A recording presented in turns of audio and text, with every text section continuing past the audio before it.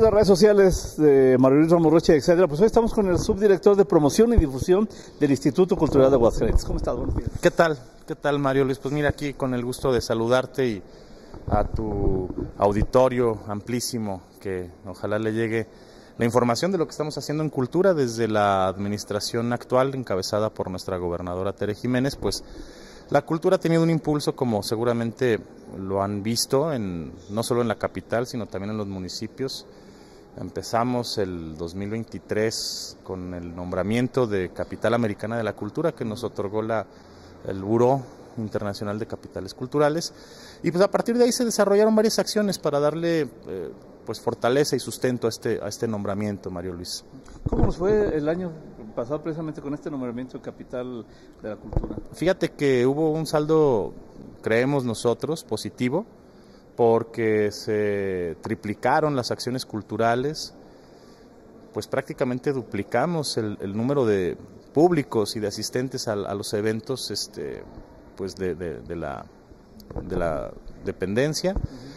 Y pues eventos grandes, eventos mmm, que son los tradicionales como Feria de San Marcos, como Feria del Libro, Festival de las Calaveras, tuvieron un saldo muy positivo. Eh, Feria de San Marcos, pues tú sabes que tiene una población flotante pues de millones de personas y tuvo un beneficio directo hacia la población hidrocálida porque el programa cultural en su gran mayoría se realizó con talentos locales abrimos un padrón de, talentos locales en teatro, danza, música, artes plásticas y pues los artistas, los grupos se registraban y de ahí nosotros sacamos eh, el talento para fortalecer el programa. Entonces se ganó de muchas formas porque no solo la gente de aquí veía arte local, sino que los grupos que se dedican al arte local ganaban lana de eso, o sea, se, se, se dio un empleo bien remunerado a, a, las agrupaciones y pues eso les dio una proyección a otro nivel porque la Feria de San Marcos pues viene mucha gente de fuera que pudo conocer talento de aquí de Aguascalientes que de otra forma quizá no hubiera sucedido. Igual pasó en Calaveras.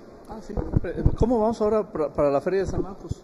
Bien. Ya, ya estamos en... Ya estamos... estamos, vamos muy bien, vamos muy bien, todavía no puedo soltar prenda, pero vamos muy bien. Eh, eh, la programación del Foro del Lago, que es nuestro foro más grande, tendrá un 70-80% de avance ya en las confirmaciones.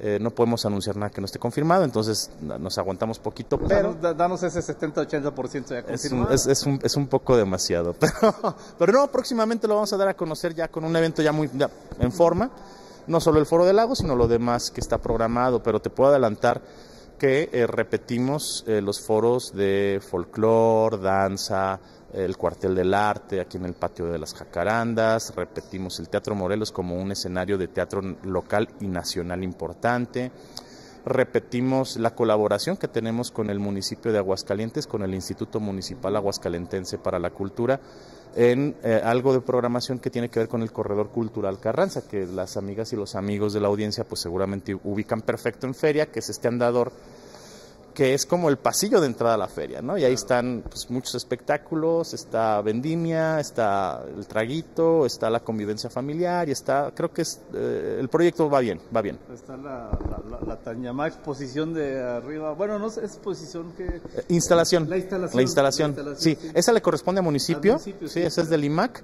este, no sé, vi, vi la convocatoria, no sé quién ganó, pero a ver qué nos ofrecen. A, ver qué nos sorprende. No, y, y, y, también lo hacen para llamar la atención. Y qué bueno, qué bueno, qué bueno. Este, dicen que ahora todo lo que sea instagrameable está bueno, ¿no? Entonces si les queda lindo y se, la gente se toma fotos y nos etiquetan y tal, pues le da buena vista a Aguascalientes. Y esa colaboración entre el gobierno del estado y el gobierno del municipio creo que es virtuosa. En el 2023, además, en, esta, en este marco de la capital americana de la cultura, tuvimos Mm, algo inédito que, que, que, no se había hecho en otras administraciones y creo que nos fue bastante bien, que fue el Santa Cecilia Feast. No sé si lo, lo recuerdes, en el marco de la conmemoración del de, de Día de las y los Músicos, que es el 22 de noviembre, eh, que es el santo de Santa Cecilia, sí, según sí, sí, las tradiciones.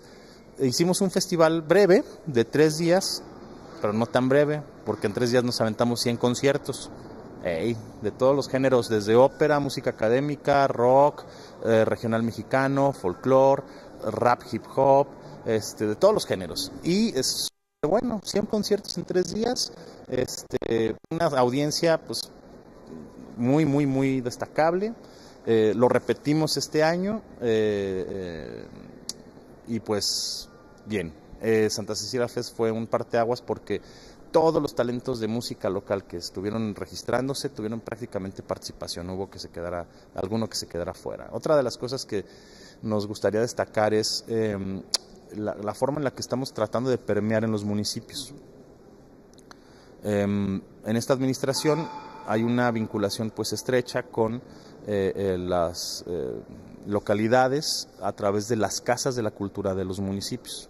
Esto nos implica que podemos eh, abarcar más nuestras acciones de enseñanza artística en las casas de la cultura de los 11 municipios, bueno, de los 10 y, este de la capital.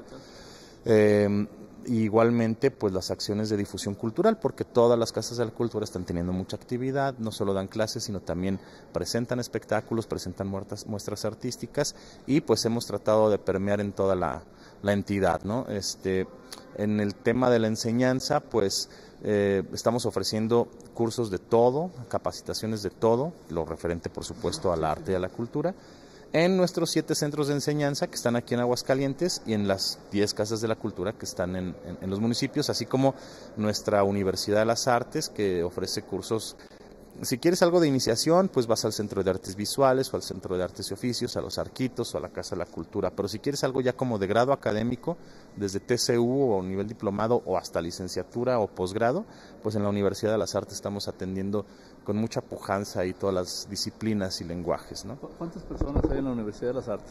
Pues el padrón en este ciclo escolar no te lo traigo actualizado, pero sí aumentamos la oferta educativa en licenciaturas como teatro, artes visuales, y este y estamos esperando a ver qué tal eh, eh, se llenan los, la maestría ahí vamos ahí vamos pero sí este en términos de la educación y la enseñanza artística pues eso y otra cosa que nos parece también importante pues extenderles la invitación a tus amigas y amigos que nos ven es a los museos tenemos exposiciones que de verdad neta no las tienen en otros lados ahorita traemos en el museo espacio por ejemplo una triple, eh, la de Ressler, que es una de videoarte de carácter internacional que está, está muy buena. En el mismo museo está Rafael Coronel, este artista que es un ícono de, sí, exactamente, un ícono de, no solo de Zacatecas, sino de México, ¿no?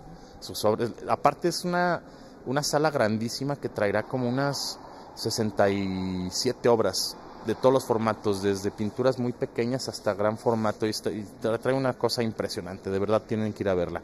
Y la cereza del pastel es que en el mismo Museo Espacio tenemos a, Salvador Dalí con esculturas este, en bronce.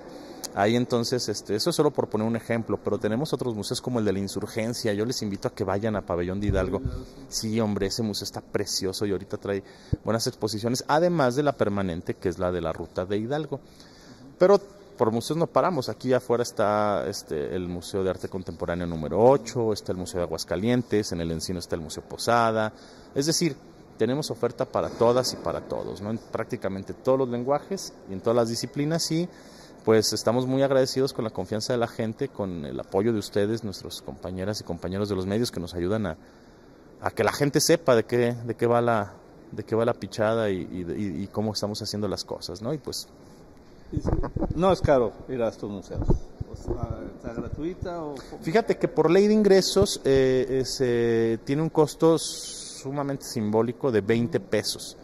Pero si traen credencial de estudiante, si traen credencial de la tercera edad o de profesor, profesora, pues entran gratis. Entonces, Ahí está. No hay pretexto. No hay pretexto. Sí, no, no hay pretexto, Mario Luis. Y pues bueno, nosotros muy agradecidos con espacios como el tuyo que, nos dan la voz. Al contrario, muchas gracias. Y pues gracias por esta entrevista. Y pues estaremos pendientes para ver qué sorpresas nos traen para la feria. Estamos tensando la cuerda este, para que cuando la soltemos sea un anuncio, un anuncio muy llamativo. Estaremos muy al pendiente. Muchas gracias, Mario. Gracias. Al contrario.